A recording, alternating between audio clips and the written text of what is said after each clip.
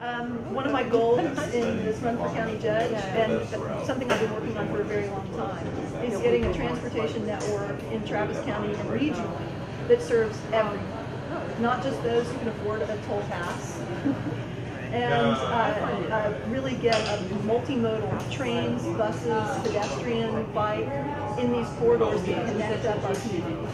So whether you live in the city of Austin, Del Valley, or Lakeway, or Wyatt, you have choices about whether you are going to get in a car to take your kid to school or whether your kid can actually ride his bike to school. Because right now, it's not safe in most communities to let your kid get out on the street on their bicycle.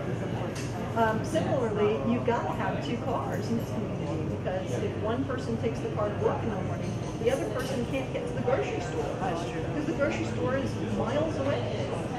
Got to get in car to get a gallon of milk.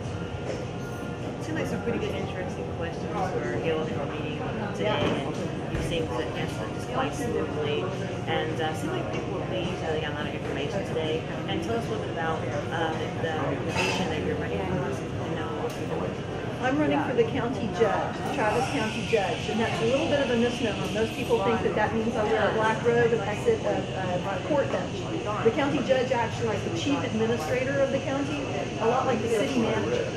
Um, like the city manager, the, the county judge sets the agenda, uh, does the budget for the entire county, um, establishes the county-wide policies for all of the county employees. Um, and this is done with the advice and consent of the full Commissioner Court, which is a five-member court where the judge take